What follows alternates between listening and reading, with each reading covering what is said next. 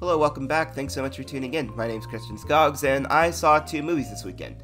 One of them was Godzilla Minus One. It really rocks, so let's talk about it. If you didn't know that there was a new Godzilla movie that came out this weekend, it comes from Japan actually, and is the first Japanese Godzilla movie to come out since 2016's Shin Godzilla. This one is set in post war Japan and follows a deserter kamikaze pilot who has to navigate life in a nation still traumatized by a brutal war and being wrecked by a giant dinosaur destroying the city. We follow his experiences specifically with Godzilla, as he has an encounter with him on an island right before the nukes go off, and in the ocean before he heads to Tokyo. Much of the film focuses on the survivor's guilt he feels not only following the war, but also after his encounters with Godzilla. It's really cool how this film uses Godzilla as a device to explore the hardships Japan faced directly after World War II.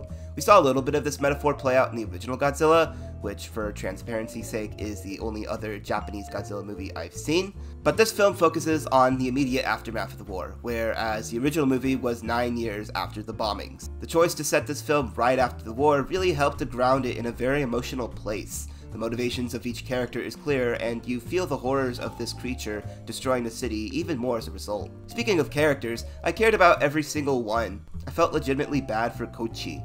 He's a kamikaze pilot who left his post, and after Japan lost a war, he feels as if what happened was his fault and without spoiling the movie, his arc doesn't really go in a direction you'd expect. There's a realization that pops up around the latter half of the film where the characters begin to reflect on the pointlessness of war, and Koichi's arc in this movie, I think, accurately reflects this sentiment. You'll have to see the movie so you know what I'm talking about, but just know that it was really well done.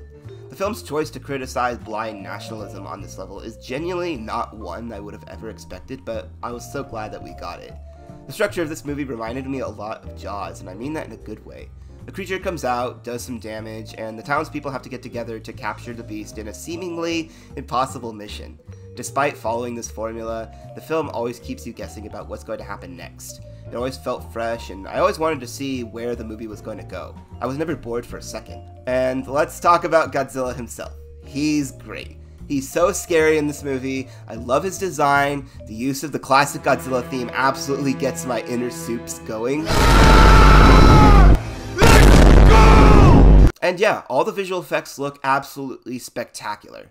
Speaking of which, did you know this movie only cost $15 million to make? That's right, one of the best looking movies of the year cost $15 million to make. Meanwhile, we're getting shitty Indiana Jones movies with subpar production values that cost $300 million to make, and movies about The Flash with some of the worst special effects you've ever seen, and a convicted criminal.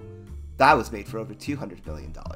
My point is, you don't need a crazy budget to make a big movie work well, and I really hope Hollywood sees this one and takes notes. Now that I know what we could be getting, there's no excuse for Hollywood to be making a bloated blockbuster void of emotion ever again especially if it's a Godzilla movie. Of course, compensate your actors and crew members and everything. Just don't be stupid with like how you spend your money. Like, I, I don't, I don't know. Get creative. Like, figure out how to make a good movie. People do it all the time. Like, you know, just save your save your fucking money. Like, Jesus Christ. Those MonsterVerse movies that America makes are fun, but characterization always takes a back seat, and people always excuse it. And it's it's really frustrating.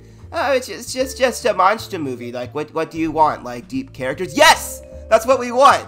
Ah, it's just a Godzilla movie. Don't worry about characterization or good stories or whatever.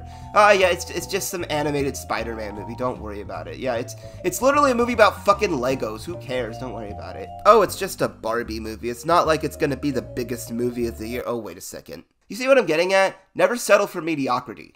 I'm still excited to see the new Godzilla and Kong movie coming out next year, especially hearing that they're finally shooting this one in IMAX, which I've been wanting for years but I don't think it'll live up to Godzilla Minus One. Obviously, this is a very strong recommendation from me. It's one of my favorites of the year. I'm probably going to see it again soon. Uh, let's do a rating. Yeah, 9 out of 10 for Godzilla. Uh, see it on an IMAX screen if Beyonce isn't taking them all up still. I did Cinemark XD, and that was still a pretty good experience yeah, no, that's uh, that's the review. On to the next one. I then saw a Dream Scenario, and uh, while I liked it, I was a little frustrated by it. If you've never heard of this movie, it stars Nicolas Cage and is about a man named Paul that randomly begins to start appearing in everybody's dreams. He becomes an overnight celebrity, and the film documents his rise and fall from grace. I think this one works best when it's focused on Paul as a character. He's really interesting to me and is the perfect person to have as a protagonist to a story like this. He's narcissistic, he's neurotic, but he also has a good heart and just wants to contribute something to people's life. Of course, he wants the credit for that contribution, which adds to his narcissism, but, but you get the idea.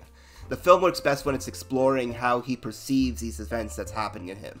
Nick Cage also plays Paul perfectly. It's honestly one of my favorite performances I've seen from him, and I wish the Academy would give him an Oscar nomination for this. I don't believe they will, but I can dream. Where the film really falls is in its metaphors. This is about the modern celebrity and more specifically cancel culture. You see, the dreams begin to turn increasingly more violent, which causes people to turn against him and ultimately his downfall.